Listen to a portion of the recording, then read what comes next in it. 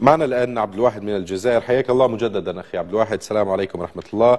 آه، كان هناك سؤالين لديكم معذرة منكم لم نستطع أن نسمعهم آه، يعني بشكل واضح. تفضل. بارك الله فيكم آه، السؤال الأول. نعم.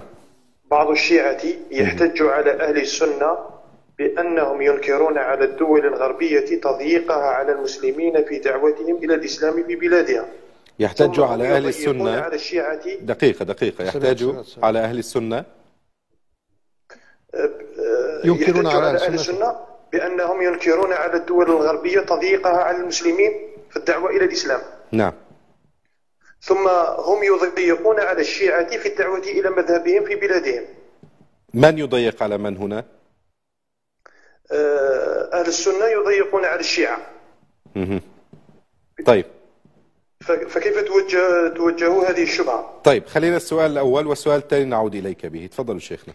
بالنسبة لقضية الشيعة والسنة هذه قضية في بدايتها بدأت مجرد خلاف سياسي ثم بعد ذلك تأطرت أيديولوجيا فأصبحت الآن آه، خارجة تماما عن السياق الذي كانت فيه فقد عاش المسلمون سنة وشيعة آه، طيلة تاريخ هذه الأمة. وكان الشيعة دائما أقلية في الأمة الإسلامية ولم يضايقهم أحد ولم يظلمهم أحد. إيه نعم. وكانوا يعيشون مع غيرهم من ال- ال- المسلمين آه، تحت سلطان الدولة الإسلامية التي كان يقودها آه، رجال من أهل السنة. آه، أما اليوم فقد جاءت ال- الثورة الإيرانية وأرادت تصدير ثورتها بالإكراه والغزو فغزت آه، كثيرا من البلدان وأرادت قهر الشعوب وإكراهها على الدخول في هذه آه، البدعة والضلالة. وما لديهم من ال- الأمور التي فيها آه، شركيات صريحة. نعم. وفيها كفريات مخالفة للقرآن والسنة مثل القول بالرجعة بعد الموت ومثل القول بعدم عصمة القرآن وبأنه غير محفوظ. ومثل القول بردة الصحابة جميعا إلا ستة وغير ذلك.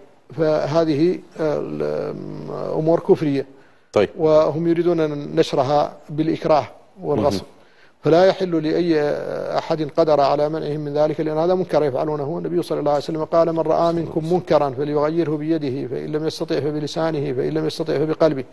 أما ما يتعلق بالإنكار على الغربيين في تضييقهم على المسلمين فهو أنهم يخالفون قاعدتهم ودينهم وقانونهم.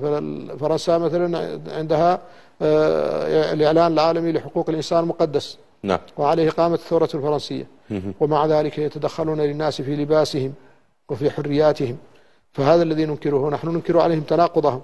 نعم. لو أنهم أصلا قالوا نحن لا نريد حقوق الإنسان ولا نريد ديمقراطية ولا نريد عدالة حينئذ لن يكون الإنكار عليهم بهذا الوجه بقانونهم. نعم. إنما ننكر عليهم تناقضهم البينة الواضحة بمقتضى قولهم. لا نرد عليهم إلا بمقتضى قولهم. جميل. نعم.